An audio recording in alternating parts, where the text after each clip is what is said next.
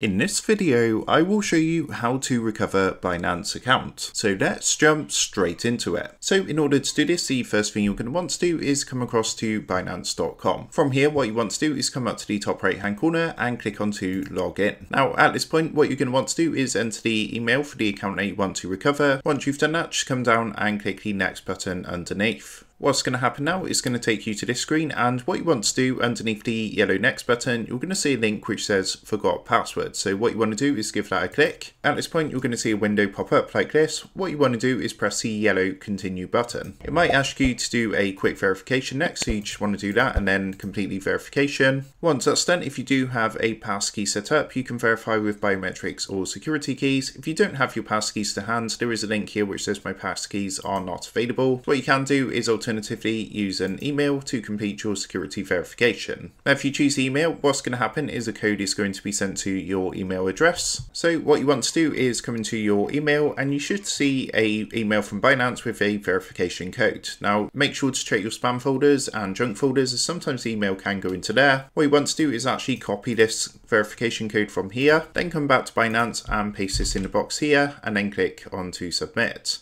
Now at this point it's going to ask you to reset your password so all you need to do is enter your new password, confirm and click the yellow confirm button. After doing this you would have successfully recovered your Binance account and you can then proceed to log in with your new password. So that is how to recover Binance account. With that being said I hope this quick tutorial did help you out today and if this did help you out I would really appreciate it if you was to consider dropping down below the video, leaving a like and also subscribing to the channel. That being said I just want to take a minute, thank you guys for watching this quick tutorial, and I will see you in the next video.